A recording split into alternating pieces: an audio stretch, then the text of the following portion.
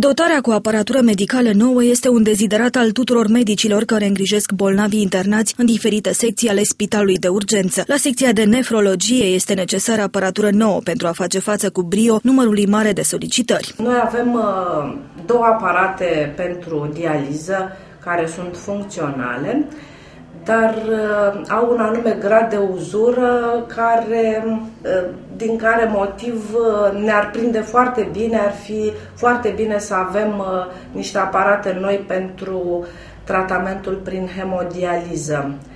Uh, în orice caz, în planul de achiziții pentru anul 2015, plan care înțeleg că a fost aprobat de către Consiliul Județean, uh, sunt cuprinse și materiale pentru și aparatură pentru dotarea secției de hemodializă, respectiv două aparate pentru hemodializă, și un aspirator mobil. Cu sprijin din partea conducerii unității medicale, dar și prin contribuția proprie a personalului medical care lucrează în această secție, saloanele și cabinetele medicilor au fost reabilitate. Condițiile sunt foarte bune, iar bolnavii internați aici vin chiar și din alte județe pentru a fi tratați. De unde sunteți aici? De la Băile Hercule.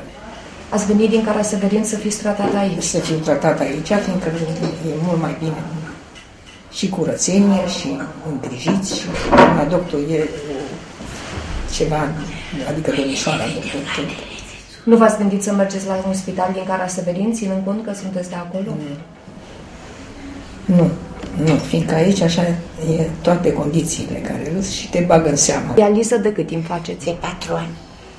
De unde sunteți? De aici, din Severin. Stau la Schela 9, Rodney 14. Cum sunteți tratați aici? Poftim? Cum sunteți tratați? Au medicii grijă de... Foarte bine.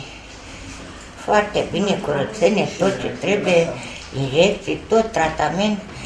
Nu avem probleme. Nu mai puteam să respir. Mi-a făcut și la doctor injecții, mi-a dat tratament și cred că m-a bine. Întreaga aparatură medicală a Spitalului Județean de Urgențe este învechită și mai dă greș atunci când se stabilește un diagnostic. Cea mai mare problemă a unității medicale o reprezintă achiziționarea unui computer tomograf nou.